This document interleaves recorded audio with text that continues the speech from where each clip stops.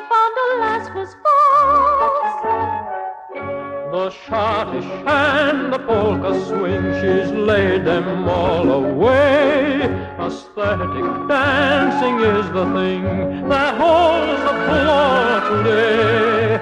Every